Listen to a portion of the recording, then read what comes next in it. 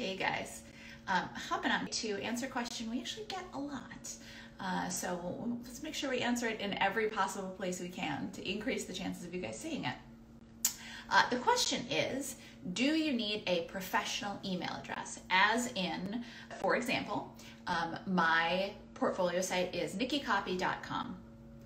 So the question would be Do I need an email address that ends with nickicopy.com, like nicki at nickicopy.com or info at nickicopy.com?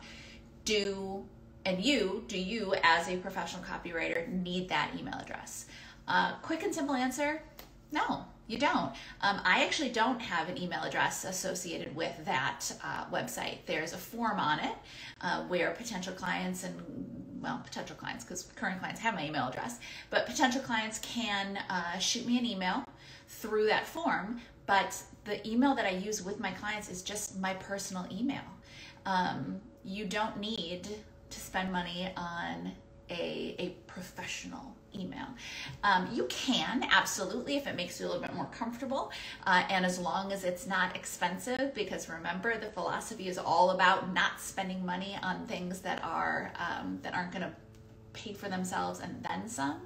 Um, if it's a couple bucks a month and it makes you feel more comfortable, then absolutely go for it. But do you need it? No, you don't.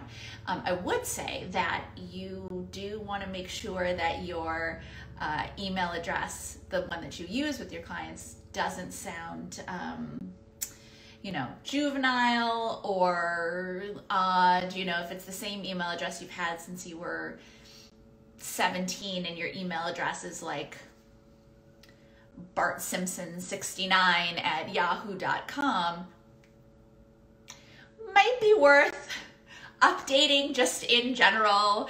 Uh, maybe worth really updating in general anyway. Maybe it's time to, to upgrade from Bart Simpson 69 at yahoo.com. Um, but my point is, is that uh, for the email address you, you use, it should be, uh, it shouldn't have any crazy connotations. Uh, certainly no, you know, sexual or, or other kinds of connotations. Um, it should be a, a, pretty, you know, bare bones, base level email address. Um, but as long as that's what it is, you know, maybe it's your maybe it's your full name or maybe whatever. Um, that's perfectly fine to use with your client. No client is going to be put off by you having um, Sarah Jones at gmail.com kudos to you if you got Sarah Jones at gmail.com, but nobody's going to be turned off by you using Sarah Jones at gmail.com versus uh, Sarah at sarahjonescopy.com. It's not going to make a big difference to a big difference to a client. Again, if you want to, if it feels if you feel strongly about it, you absolutely can, as long as you're not shelling out a whole bunch of money for it. But it is not necessary.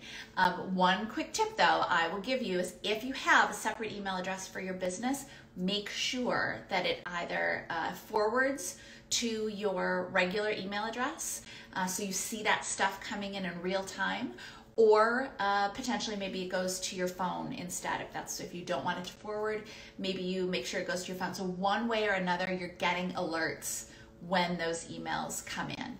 Uh, protect your schedule. If you don't want to have instant alerts at every moment, maybe you want to check your email two or three times a day at specific times. Fine, great. Um, but what I'm trying to say is that the worst case scenario is you set up a new email address for your for your uh, for your company for, that that you set up a new email address for your business and it's a pro- professional email address and you forget to check it for a while and you miss important stuff from clients or you miss potential clients reaching out to you. That's a bad scenario. So, if, and again, not necessary, but if you want to set up a separate email address for your business, just make sure that you're not going to miss anything. So, again, either make sure that it forwards to your regular email address uh, so you see stuff come in, or make sure that you get an alert somehow so that you don't. Um, wake up one day and realized oh my realize oh my gosh I haven't checked my business email for a week or whatever. Bad scenario. Uh, you want to give it just as much attention as you do your regular email address. But again, don't even need it. Don't need a professional email address. I just use my personal one with my clients, and they are perfectly fine with that. I've never had any complaints.